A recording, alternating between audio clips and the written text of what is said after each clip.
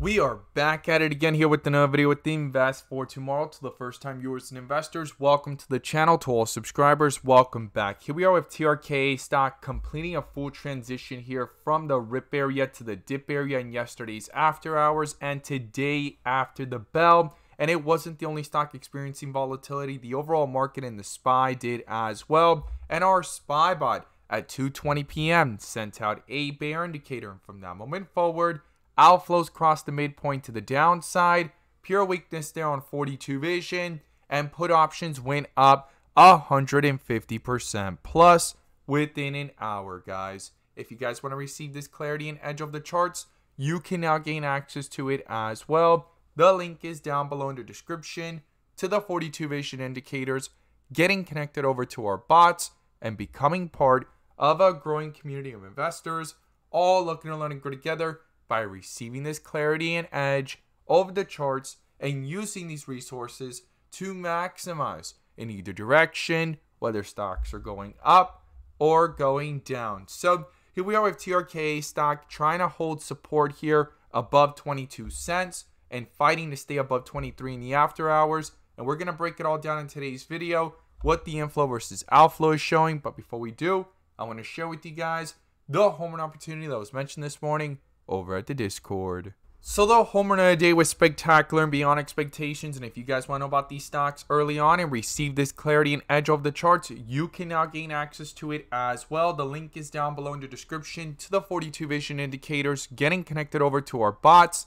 and becoming part of a growing community of investors, all looking to learn and grow together. So the home run of the day was from our Tesla bot. Our Tesla bot at 11:10 a.m sent out a bear indicator. And from that moment forward, outflows crossed the midpoint to the downside. Pure weakness there on 42 Vision. And put options went up 200% plus within hours, guys. If you guys want to receive this clarity and edge of the charts, you can now gain access to it as well. The link is down below in the description to the 42 Vision indicators, getting connected over to our bots. We look forward to having you join us and we strive for opportunities like these every single day. Let's jump into these charts. So here we are with TRK stock doing a full transition as I stated earlier in the video from the rip area up here at around 26 cents to the dip area here down towards the 23 to 24 cent area. And if this is your first time coming across the channel, this is 42 Vision, which allows us to see the dips from the rips, the rips to the dips, and where the strength and weakness lies within the charts. And we also use our and bear indicators and inflow versus outflow as an extra layer of confirmation, which I'm going to pull up here and you can now gain access to uh, as well. The link is down below in the description to the 42 Vision indicator, getting connected over to our bots and becoming part of a growing community of investors, all looking to learn and grow together by receiving this clarity and edge over the charts and using these resources to maximize in either direction, whether stocks are going up or going down. And in today's video, I'm going to pull up the inflow versus outflow indicator, which adds that extra layer of confirmation and gives us that edge within the volatility. So here we are with TRKA stock under a bull indicator since the 26 cent area here, and it's done a full transition as I stated earlier in the video from bright green bars on 42 vision to the dip area as I call it of white with red borders. Outflows crossed over after doing a full transition from the dip area to the rip area and having a bull indicator since down here at around 24 cents. So there's been a little bit of volatility here in the last several days and weeks, but the top so far in the last jump was 27 cents. And it was a pivotal area of resistance based off the history of the chart because that's where there was multiple rejections here when it tried to bring itself back up from 25 cents up towards the 28 to 29 cent area. And it rejected since then and it's been pulling downwards. So we need to talk about what's going on here and what key levels I would watch going into tomorrow. And currently it's under a bear indicator and outflows dominating here within the 30 minute chart. Now, when you zoom out and look at this from the one hour, you could see here it got a bear indicator yesterday in the after hours. Same thing, full transition from the rip area down to the dip area, but the outflows had not crossed, right? In the previous videos, I talked about The one thing that was holding this up, that's why it was in this consolidation and not completely falling, was the fact that the outflows had not began. Inflows were still dominating and above the midpoint here on the one hour. Now, today in the pre market, it was trying to hold itself up after the drop in yesterday's after hours. And there you have it. The outflows crossed today and they're down here at negative 0.02. And it hit a low here of 22 cents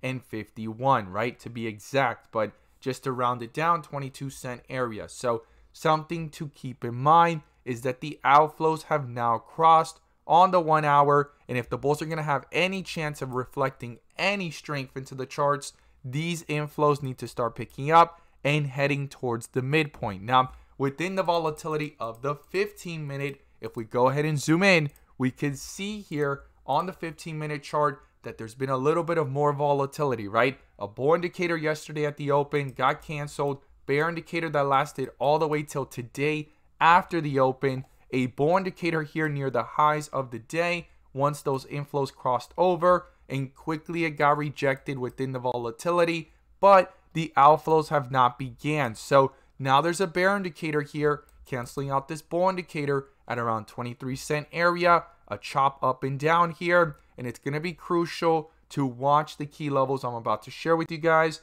going into tomorrow because if these outflows begin and follow the 30 minute, follow the one hour, it could start to reflect pretty quickly that weakness into the chart, especially if this bear indicator stays in effect until tomorrow's trading day, okay?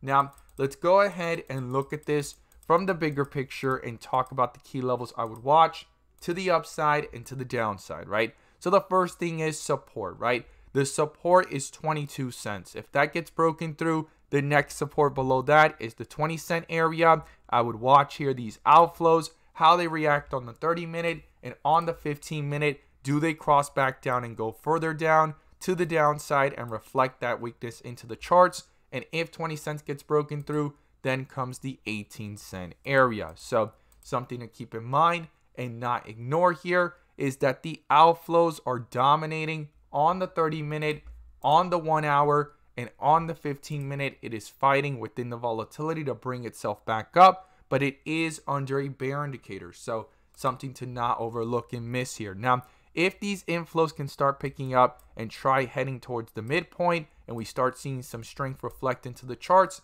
well, the first resistance is 25 cents, guys. It rejected right off of it in the pre-market today, and that's where things kind of leveled off and then dropped down towards 22.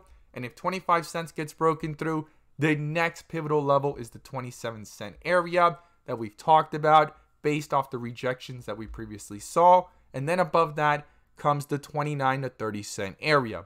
If we reach those levels, we'll have to reassess what's going on, but it's going to be crucial and critical for these inflows to start picking up, cross over the midpoint, cancel out this bear indicator, get a bull indicator in the process, and start pushing up even further to the upside the 15 minute inflows, guys, and cancel out this bear indicator and go higher and start the one hour. Even though it doesn't cross the midpoint, at least switch from red to green and start heading towards the midpoint. It doesn't have to cross it just yet because this is a larger time frame, but if that stream starts to reflect into the charts, we want those inflows to start moving with it to the upside, getting closer to the midpoint to eventually see if the bulls can cross it over, cancel out this bear indicator, and get a bull indicator in the process. So those are the key levels I would be watching to the upside and to the downside. Those bull and bear indicators are going to be crucial, and I'm going to watch these inflows versus outflows very carefully